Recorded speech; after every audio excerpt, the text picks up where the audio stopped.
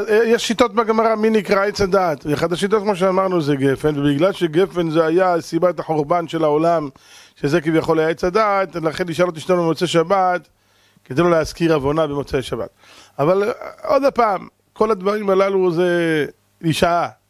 וגם לא סוף דבר, אם היא עושה הבדלה, ודאי שהיא יכולה לשתות והיא צריכה לשתות. רק בטעימה לא נהגו לחלק בהבדלה יין בחיבוב מצווה כמו בקידוש. זה נכון. אבל אם ילד רוצה לשתות, שישתה, אין בזה שום בעיה. לא, לא לחשוב שיש בזה איסור, אין בזה שום איסור. אה, עוד יותר גרוע זה לשפוך את זה. יש כאלה לוקחים יין, שופכים, וחייבים בזה את הנר. תדעו לכם שיש מחלוקת גדולה בפוסקים זה מותר. יין זה נקרא המשקה הכי חשוב שיש לנו, ואסור לגרום לו עיבוד. זה לא כמו מים. זה נקרא בל תשחית. הגמרא מדברת על זה כל כך הרבה וגם בפוסקים. לכן לא פשוט שמותר, הרב בן ציון, הרב בן ציון מוצפי, השם ישמור אותו, אומר שאסור לכבות את הנר של, ב, ב, ב, ב, ביין של ההבדלה. אז זה לא פשוט, אז uh, עוד פעם. או, אז בסדר, מה שכבר נשאר ובמילא הולך להיזרק, אתה צודק, ויש כאלה, אתה יודע מה עושים? הוא שופך שלושת רבעי כוס לתוך הצלחת שלו, הוא לא שתה בכלל, והוא תקום מכבה, עושה... שבוע טוב, שבוע, מה שבוע טוב, נעל אבוק, שפכת חצי כוס יין, מה עשית? לא נכון. זה ממש לא נכון, וזה חס ושלום דבר שגורם ללא טוב. שאדם, גמרא אומרת, זה נקרא שהאדם כופר בטובתו של הקדוש ברוך הוא, נותן לך יין ואתה זורק אותו, למה אתה עושה כזה דבר? זה לא טוב. אוקיי, נחזור לענייננו, לכן צריכים לדעת שיש עניין גדול, אם הזכרת את מוצאי שבת, שעניין גדול כן איתו מהיין של הקידוש, והגמרא אומרת שכל השבוע שאדם הולך אז ידוע שההליכה של האדם נוטלת ממאור עיניו של אדם. אדם, הראייה שלו מתקלקלת מההליכה. אתם יודעים, הגמרא אומרת, פסיעה גסה נוטלת אחד משישים ממאור עיניו של אדם. פסיעה גסה, דהיינו, הליכות עם פסיעות גדולות, או ריצה. אתם יודעים שאצנים, יש להם בעיות בעיניים. כן? זה מקלקל את העיניים. והגמרא אומרת, במאי מהדר לך, מחזירים את הראייה הזאת. כל השבוע אנחנו הולכים הולכים. אומרת הגמרא, בקידוש ה... ביין של הקידוש שהאדם טועם ממנו זה מחזיר את המאור עיניים. אז תדעו לכם שיש בזה סגולה גדולה לראייה טובה. אז שאדם ישתה מעט, לא צריך עכשיו לשתות חצי כוס. טעימה, קצת, משום חיבוב מצווה. עוד פעם, חיוב זה לא, זה חיבוב מצווה, להראות כמה אני מחבב את המצווה שאני רוצה לשתות משיירי הכוס, אבל זה לא דין, זה לא חובה. לא חייבים לשתות מהיין, החיוב הוא על בעל הבית.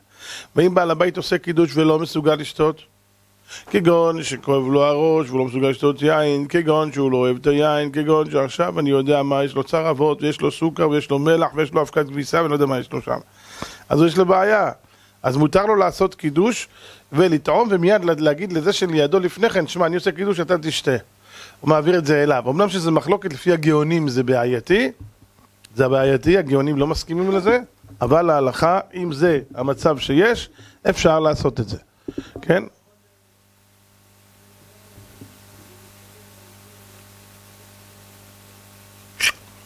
קודם כל זה לא נקרא להתחכם, אני מלכתחילה אומר לך שכדאי ועדיף להביא כוס קטנה שמכילה רביעית בדיוק, לא יותר. דהיינו כוס שמכילה 80, 80 ו... הרביעית זה 81 גרם. 81 זה מדי אה, מצומצם כי אולי לא יהיה לנו מספיק, אז עדיף לקחת כוס של 90 גרם נגיד. ואז אתה מסודר, לא לוקח כוסות מדי גדולים ולא נכנס לבעיות של כמויות וגם לא נהיה בל תשחית. סתם נזרק יין זה לא טוב. סתם צריך לדעת עוד דין, שיש דבר שנקרא יין פגום, שאסור לעשות עליו קידוש. מה נקרא יין פגום? אם מישהו לקח כוס, מילאתי את הכוס ביין, בא הילד לפני הקידוש, שובב, טעם מהיין. היין הזה פסול לקידוש כי טעמו ממנו. וזה לא משנה מי, ילד קטן או איש גדול, טעם מהיין. לקח את הבקבוק המזרוב הזה ושתה מהבקבוק. יש כאלה מסכנים, המוח שלהם לא במקום כל כך.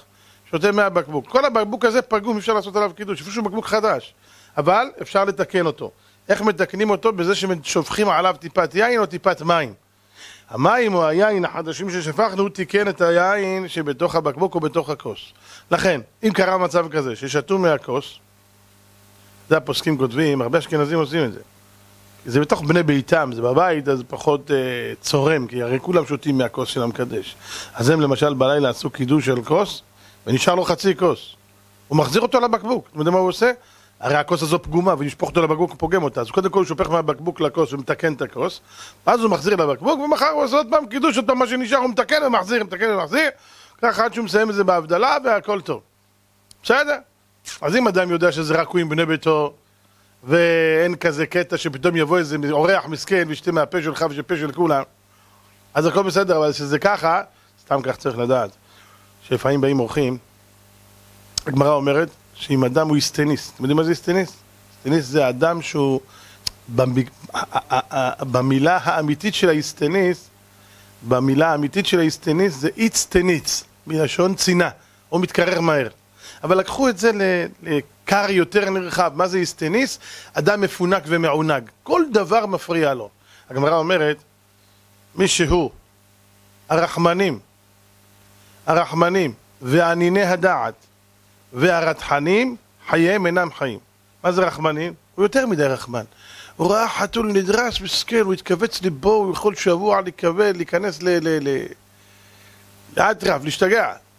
הוא יראה ששחטו כבש, הוא לא יישן שבועיים. אני כזה, מה אני אעשה? אני ראיתי פעם שוחטים כבש, לא ישנתי שבועיים. זה מטריף אותי, אני רואה שעושים ברית מילה, אני מתעלף, אני לא יכול. והניני הדעת, מה זה הניני הדעת? אדם שהוא מאוד מאוד מאוד נגעל מכל דבר. איכס, איכס, איכס, איכס, זה גם חייו אינם חיים, והרתחני, מי שכועס מכל דבר. זה שלושה דברים, חורבן. עכשיו, כשאנחנו מדברים על uh, ענייני הדעת, אדם נגעל. לא כל אחד מסוגל לשתות מכוס ששתה חברו. ולפעמים, מרוב גועל הגמרא אומרת שבן אדם יכול למות. עד כדי כך, כך הגמרא אומרת. אפשר למות מזה. זה יכול לעבור חולאים על האדם. עכשיו, מה שקורה, בא אליך אורח, ואתה בטבעיות נותן לו לשתות מהכוס שלך. אולי הוא איס טניס, הוא ענין דעת, והוא מרוב בושה הוא ישתה, אבל מסכן, הוא נחנק. לא חכם ולא נכון לעשות דבר כזה שבאים אורחים. מה נעשה כשבאים אורחים? נחלק להם כוסות, נמזוג להם קצת יין בכוס לפני הקידוש, נעשה קידוש, כשנסיים, הם ישתו מהכוסות שלהם. הבנו? לא כדאי בכלל. בני הבית שלך, שזה הילדים שלך, אשתך, וכולם בסדר, הכל טוב. אז בסדר, שותים מאותה הכוס, אבל כשבאים אורחים, כדאי מאוד להימנע מזה. לא, כי זה לא נקרא תיקון, זה לא מקולקל. כל תיקון, בוא, בוא, בוא נגיד משהו אחר. יש מעלה מאוד גדולה לשתות יין אדום. לפי דעת הרמב"ן, שמובא במסכת פסחים, בפרק עשירי, שמה אומר הרמב"ן, דע לך מי שעושה קידוש על יין לבן, לא יוצא ידי חובה בכלל. שנאמר, אל תראה יין כי יתאדם, יין אדום זה יין, יין לבן אין לו גדר של יין, כך דעת הרמב"ן. אז אנחנו בבעיה. אז מה עושה בן אדם? יש לו יין לבן, הוא רוצה לשפוך לתוכו יין אדום כדי להשביח את היין.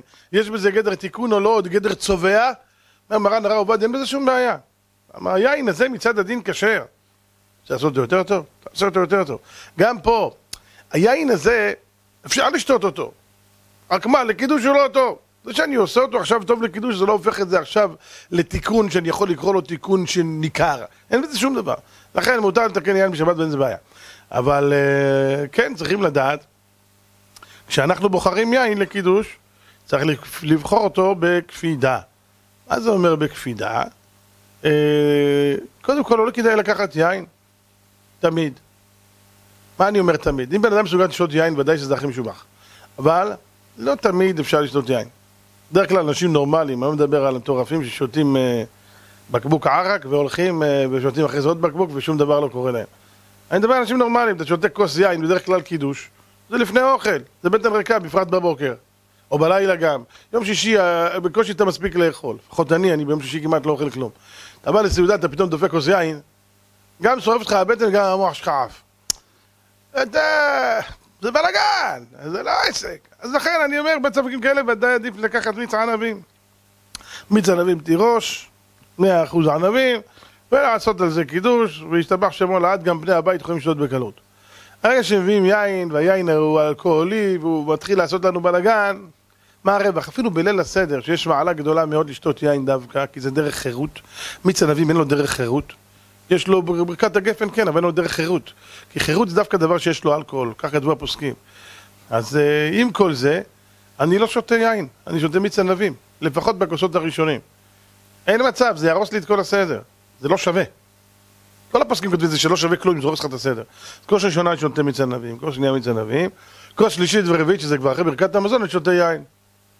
ואז, השתבח שם הולד, אתה אחרי אוכל, הכל יושב לך כבר בפנים, כמו שצריך, הכל בסדר. וגם, כבר הסדר כבר לקראת סיום.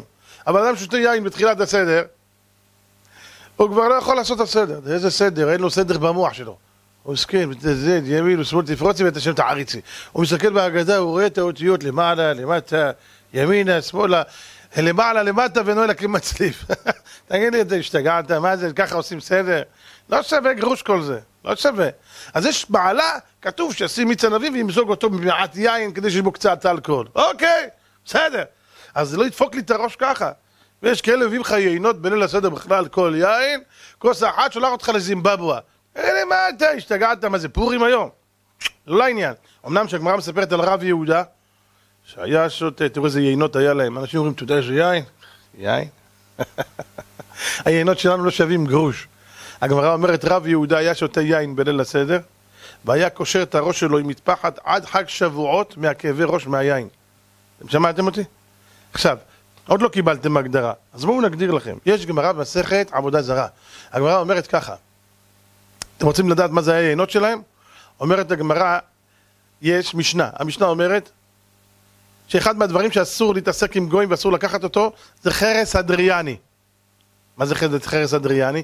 אדריאני, אדריאנוס קיסר. הוא היה אדריאנוס, היה קיסר של רומאים, רשע גדול, עריץ, והם כשהיו יוצאים למלחמות שלהם, מה הם היו עושים? הם כל הזמן היו שותים יין, בזמן הגמרא לא היה קולה ולא מיץ כזה ולא מיץ אחר. כל שתייה הייתה יין. אין דבר כזה בלי יין. הם כל הזמן היו עם יין. גם מים כמעט לא היו שותים. השתייה שלהם בארוחה הייתה יין. וכך גם רמב"ם כותב שמים לא בריא לשתות בסעודה, רק יין בריא. והם היו חיים כמו שצריך. אוכלים אמנם בשר, בשר בשר, הבשר שלהם זה לא הבשר שלנו עם אנטיביוטיקה ועם אקמול ועם אני יודע מה יש בפנים, עם כל השטויות שיש היום. בשר אמיתי של בהמות שרועות במרעה, רועות באחו, בהמות בריאות, עופות זה עוף. אם אתה מקבל עוף... אני מגדל, אני גידלתי עופות ואני מגדל עכשיו עופות, יש לי בישיבה עכשיו תרנגולים, הם גדלים אצלי, שהילדים הביאו והם גדלים שם. אתה רואה מאז שהוא אפרוח עד שהוא נהיה גדול זה חצי שנה. רבותיי, היום במדגרה מוצאים אפרוח שבועיים הוא תרנגול. אתם יודעים מה נותנים להם שם, איזה זריקות בשביל הורמונים לגדל אותם? אתה אוכל את כל הרעל הזה. עולם אחר היה, בקיצור. אז החרס האדריאני, מה? הם יוצאים למלחמה. מה, הם יסחבו למלחמה חביות של יין על הסוסים? לא הגיוני. אתם יודעים מה הם היו עושים? אומרת הגמרא הולכים ומגיעים לקרקע בתולה. מה זה קרקע בתולה? קרקע שלא עבדו אותה. חזקה מאוד. ובקרקע הזאת היו לוקחים יין וכוסים חרסים, חרס, מהאדמה הזאת שהיא קרקע בתולה ויש לה כוח ספיגה אדיר, שוברים את החרסים, טובלים אותם בתוך היין. חרס, בולע, נכון? כל החרס נהיה בלוע מהיין, ואז לאט לאט החבית לאט לאט אה, מתחילה לרדת, לרדת לה, מה שנקרא, יורד למפלס, וכל החרסים מלאים יין. ואת החרסים האלה הם היו שמים בשקים והולכים איתם למלחמה. מה עושים עם החרס הזה? היו לוקחים את החרס, שמים חרס אחד, חתיכת חרס אחת, בתוך חבית של מים. וכל החבית הזאת הייתה נהיית יין. תקשיבו טוב, החזיקו חזק שלא תיפלו. אומרת הגמרא, תנא, שלישי שלהם כראשון שלנו. מה פירוש? הפעם השלישית שהיו שמים את החרס, פעם ראשונה שמת נהיה יין, פעם שנייה שמת יין, פעם שלישית נהיה יין. הפעם השלישית שהיו שמים את החרס במים, זה כמו היין הראשון שאנחנו מוצאים ישר מהענבים. אתם הבנתם מה שאני אומר? ולא שלנו, שלנו זה של זמן התנאים. איפה היין שלנו והיין שלהם? יעני אם אתה מקבל כוסית מחרס אדריאני, אח שלי אתה עולה לחלל בלי חללית בכלל. אתה יכול לרדת למצולות ולסחוב ולצלול למטה לעומק, להגיע לצד השני של כדור הארץ. אז תבינו מה הם היו שותים. הם היו שותים יינות מטורפים. היינות שלנו חלשים היום, זה עולם אחר לגמרי. אי אפשר לתאר בכלל איפה אנחנו ואיפה הם, לא בפירות ולא בזה. גמרא אומרת מזמן שגמרא מסכת סוף מסכת אה, כתובות, אה, סוף מסכת סוטה סליחה, אומרת שמזמן שחרב בית המקדש ניטל טעם הפירות. ורואים את זה היום לא במרחק של בית המקדש. אני, כשאני הייתי ילד, אני לא צוחק אתכם רבותיי, ותשאלו את המבוגרים שביניכם, אני לא זוכר את זה. היו מקלפים, הבית של ההורים שלי, אחרי שההורים שלי כבר עברו מהדירה הקטנה, הוא ענק, זה הבתים של פעם, ענק. הייתי יושב בחדר האחרון, כשהיו מקלפים מלפפון במטבח הייתי מריח אותו עד לחדר האחרון. יודעים איזה ריח? היום? תשים אותו בתוך האף שלך, לא תריח אותו. אין כלום. איפה המלפפון? איפה העגבנייה? צנון בכלל, צנון זה קלקר, אני לא אוכל כבר צנון יותר. היית אוכל צנון, היה חריף לך. אני לא מצאתי צנון. אין לו טעם, אני אוכל סתם קלקר, עזוב אותי, מה אני צריך לאכול אותו? זה לא צנון. הדברים הולכים ונעלמים לצערנו. מישהו הולך לחוץ לארץ בכלל מרגיש את ההבדל בין ארץ ישראל לשמה, מטורף. יש לי תלמיד שנמצא עכשיו באמסטרדם, אומר לי, הרב, עגבניה לא עגבניה, מלפפון לא כלום פה על הפנים, לא טעם ולא ריח. אז תארו לעצמכם שאם היינו נותנים את מה שאני הייתי ילד למישהו בזמן בית המקדש, היה מלפפון, אתה מסתלבט. הדברים נעלמים, הגמרא אומרת שהיו לוקחים בן אדם, שתבינו איזה גודל. איזה גודל חיטה היום? אה? בגודל של נמלה, נכון? הגמרא אומרת שהיו חיטים בגודל של כליות של שור הגדול. ראיתם פעם כליות של שור? זאת אומרת, חיטה הייתה כזה גודל. אתם תארים לעצמכם שמחיטה אחת אני עושה כמה לחמים, כן? היום מכמה חיטים אתה עושה? מישהו יכול לספור אותם? נמצאים בעולם אחר לגמרי. למה? אין ברכה. בית המקדש היה מקור הברכה לעולם.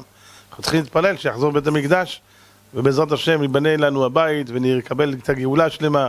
בעולם יעשה נקמה בכל שונאי ישראל. בעזרת השם יתברך כל הרשעים הללו שקמים עלינו, כל דור ודור, כן, חנותנו, הקדוש ברוך הוא מצילנו ויצילנו מידם, אמן.